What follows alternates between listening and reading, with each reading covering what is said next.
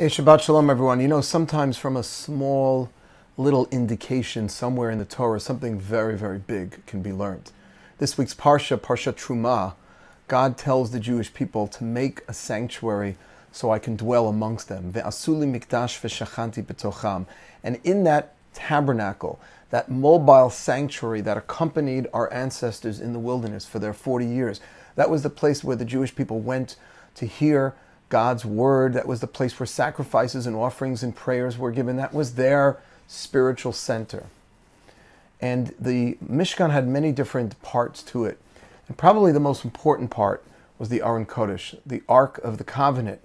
And the Ark of the Covenant, of course, contained the Luchot, contained the um, the tablets that Moses came down from Sinai with.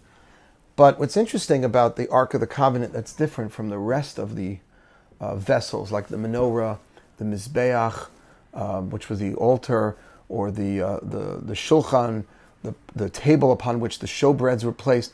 All of those vessels of the tabernacle had poles because you weren't supposed to carry the item itself.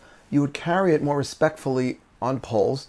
And then, when the item would be placed down, when the Jewish people would encamp in a certain area in the desert, they would pull the poles out and get to work on it everything except for the ark.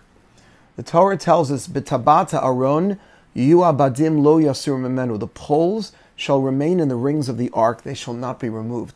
Now that little line, why is God being so intent? Leave the poles in the ark, which is a little strange because once you put the ark down, you want to get to work with it on the you know, in the tabernacle. Why are you going to keep the poles? The poles were like the wheels to keep it moving, kind of thing. And all the other vessels of the tabernacle, like the the uh, menorah and everything else, you pulled the poles out and got to work on it. But here, the poles had to always stay there. And the great and late German Jewish philosopher, Rabbi Samson Raphael Hirsch, said so beautifully because the ark contained the Torah. And the Torah has to be ready to be picked up and moved at a moment's notice. Torah is supposed to be mobile. Torah is not supposed to get fixed in any one place. Torah usually gets stuck in shuls. Right? We take Judaism very seriously when we get to a synagogue. We dress up, put on the kippah, we do what we're supposed to do. And then we go. But Torah was designed, if you look at all the 613 mitzvot, there are more mitzvot pertaining to our regular everyday lives, in our offices, in our kitchens, in our workplaces, uh, on, in our social environment. That's where the Torah is supposed to be. So the poles always remaining fastened to the ark is another way of saying make sure you bring your Judaism wherever you go.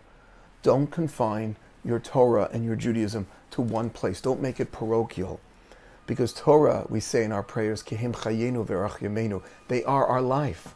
And my friends, we don't live our lives in shul, in synagogue. We live our lives on the street. We live our lives doing whatever it is we're doing.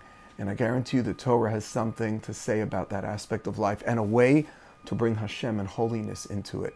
And so don't remove the poles. Make sure that the Torah gets brought everywhere and anywhere. Shabbat Shalom.